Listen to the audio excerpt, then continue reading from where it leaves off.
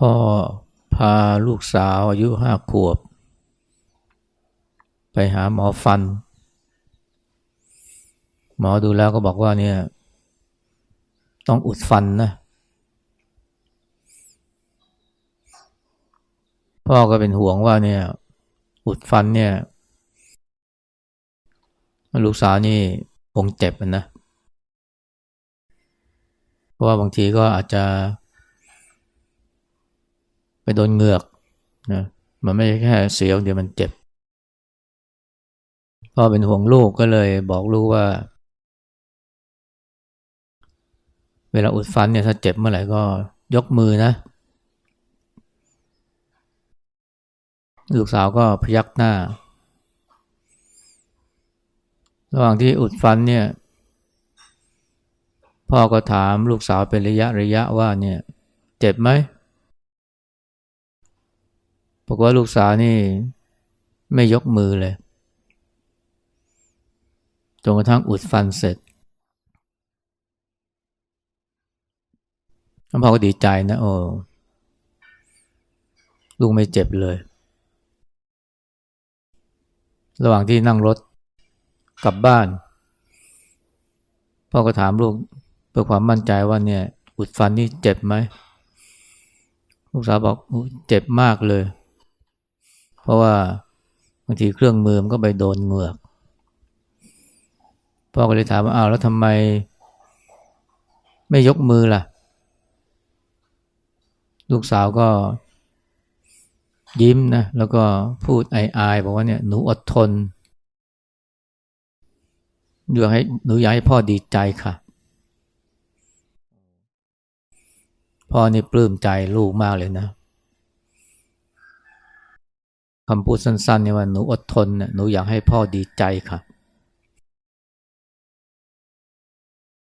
ลูกสาวนี่นึกถึงพ่อเนี่ยอยากให้พ่อมีความสุขนะ ก็เลยอดทนนะ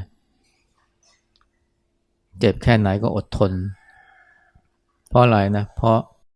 อยากให้พ่อมีความสุข อยากให้พ่อดีใจ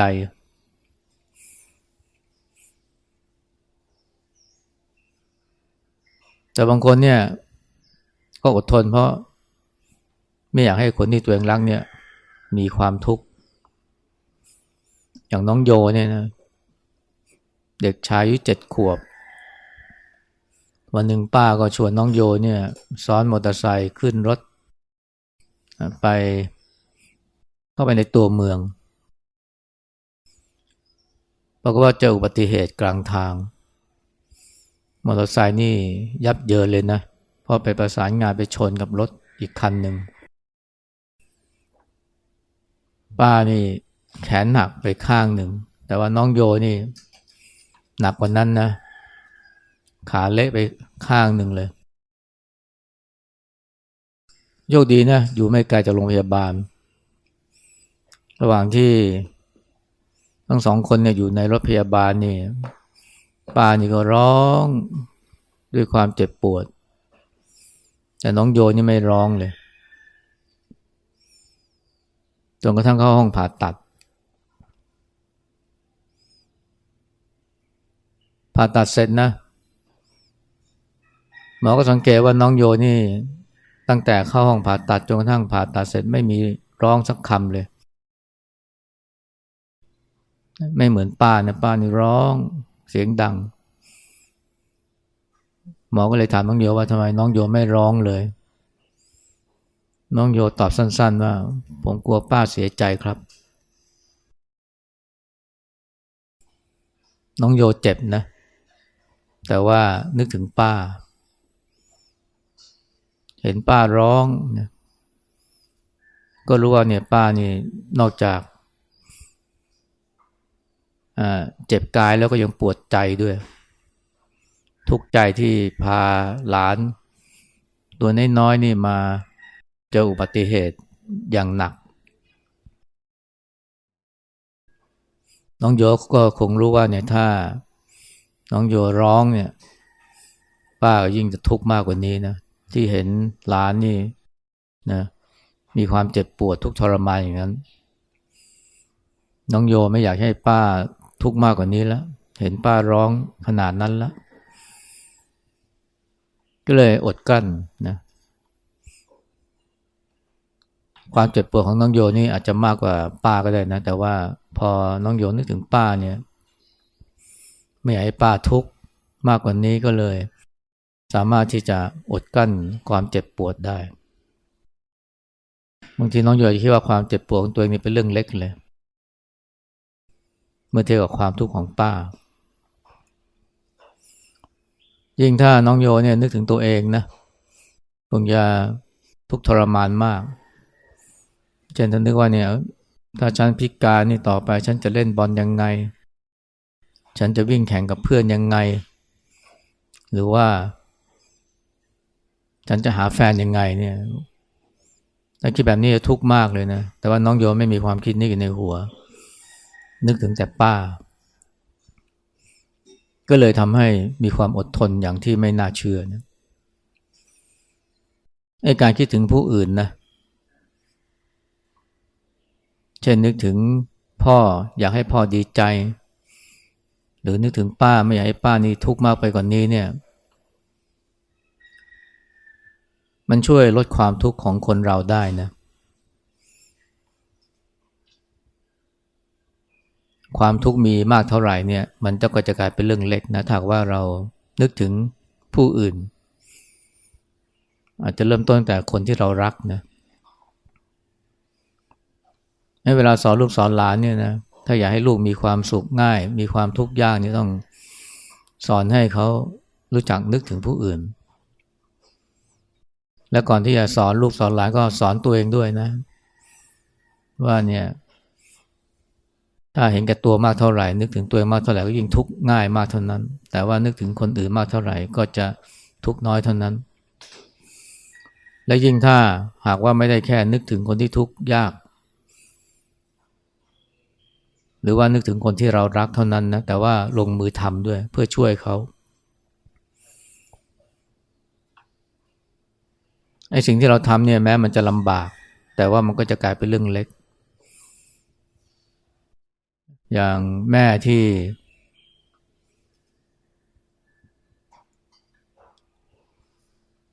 ลงทุนลงแรงเนี่ยไปปลูกป่านะปลูกต้นไม้บนเขาที่มันทุรกันดารว่ามันเหนื่อยยากนะ แต่ว่าแม่ก็ท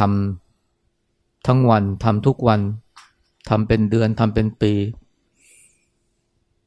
ทั้งที่ไม่เคยทำหรือเคยทุกแบบนั้นมาก่อน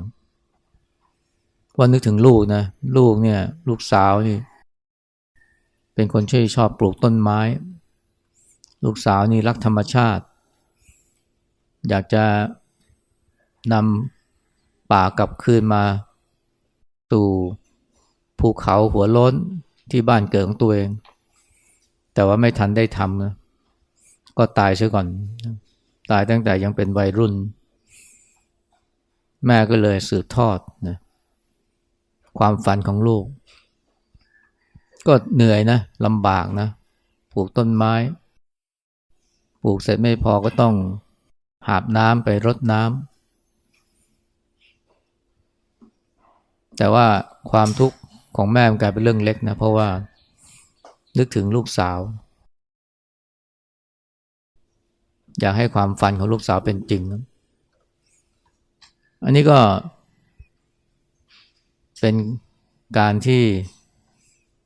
อาศัยความรักนะของลูกสาว ความรักที่มีต่อลูกสาวนี่รวมทั้งความฝันของลูกสาวนี่เป็นแรงผลักดัน ให้ทำสิ่งที่ยากจนสำเร็จได้ แม้จะลำบาก แม้จะทุกข์ทรมาน แต่ว่าก็กลายเป็นเรื่องเล็ก เมื่อนึกถึงคนที่เรารัก ซึ่งจากไปแล้ว อันนี้ก็เป็นวิธีการทำให้ การตายของคนที่เรารักนี่มันมีคุณค่าขึ้นมา มันไม่ใช่เพียงแค่ อาศัยความรักที่มีต่อลูกสาวเป็นแรงผลักดันให้เราทำสิ่งที่ยากลำบากให้สำเร็จได้ และแม้จะเป็นคนที่เราไม่รู้จักเลยนะ ไม่ได้เป็นคนในครอบครัว ไม่ได้เป็นพ่อเป็นแม่ ไม่ได้เป็นลูก ไม่ได้เป็นป้าเนี่ย แต่การที่เราทำอะไรเพื่อช่วยเหลือเขา มีน้ำใจต่อคนแปลกหน้านี้ มันก็ก่อผลดีกับเรานะทำให้เรามีความสุข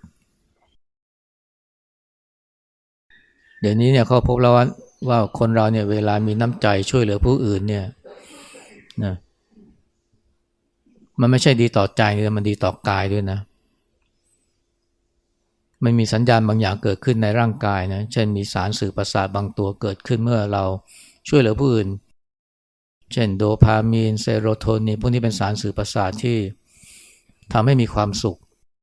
คนเรามีความสุขเนี่ยมันจะมีสารตัวนี้ออกมา โดพามีนก็ดีเซโรโทนินก็ดี หรือเวลามีความเจ็บปวด มันก็จะมีสารตัวนี้มาช่วยระงับความเจ็บปวดได้ มันก็แปลกนะ เดี๋ยวนี้เราพบว่าการที่คนเราไปช่วยผู้อื่นเนี่ย มันทำให้เรานี่มีความสุข ไม่ใช่แค่มีความสุขเดียวนะ สุขภาพก็ดีนะ ความดันก็ลดลง ความเครียดก็น้อยลง เหมือนกับว่าธรรมชาตินี่เขาออกแบบมา ให้คนเราเนี่ยรู้จักช่วยเหลือผู้อื่น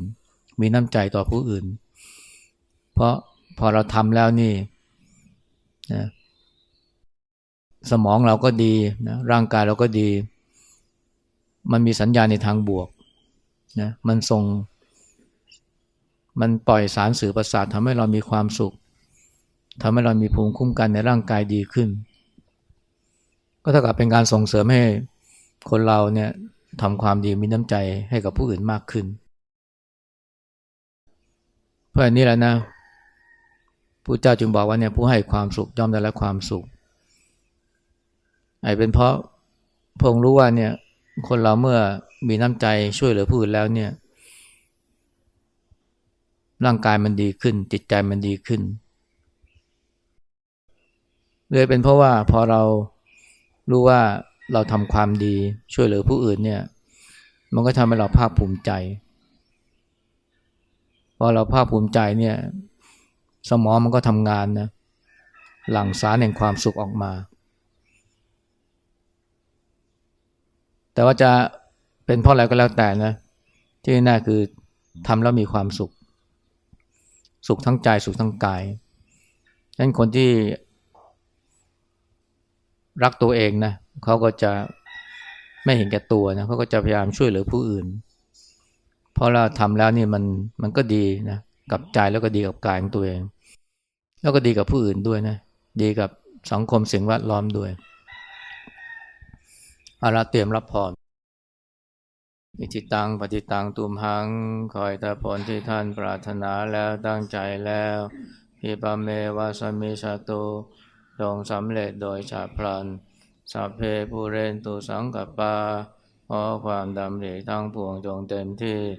จันโทปนารโสยธาเหมือนพระจันทร์ในวันเพ็ญมณีโชติรโสยธาเหมือนแก้วมณีอันสว่างสวัยควรยินดีสาพีติโยวิวาชันตุวานจารายทั้งปวงจงบำราดไปลาภโรโควินาสตุโรคทั้งปวงของท่านจงหาย มาเตภวัตวันตรายโย อันตรายามีแก่ท่าน สุขีทีคายุโกภวะท่านจงเป็นผู้มีความสุขมีอายุยืนอาภิวาทนาสิริสนิจังวุธาปจายโนจตารโรธรรมาวัฏันติอายุวันโนสุขังพลังตามสี่ประการคืออายุวันนาสุขะพละ ย่อมเจริญแก่บุคคลผู้มีปกติไหวกราบ มีปกติอ่อนน้อมต่อผู้ใหญ่เป็นนิภาวะตุสาพมังคลังขอสาพมงคลจงมีแก่ท่าน ราขันตุสัพเทวตาขอเราเทวดาทั้งปวงจงรักษาท่านสัพพะพุทธานุภาเวนะด้วยอนุภาแห่งพระพุทธเจ้าสัพพะธรรมานุภาเวนะ ด้วยอนุภาแห่งพระธรรม นุภาเวนาด้วยอนุภาแห่งพระสงฆ์สัทธาโสธิภาวันตุเตมาสวัสดีทั้งหลายจงมีแก่ท่านทุกเมื่อเทิน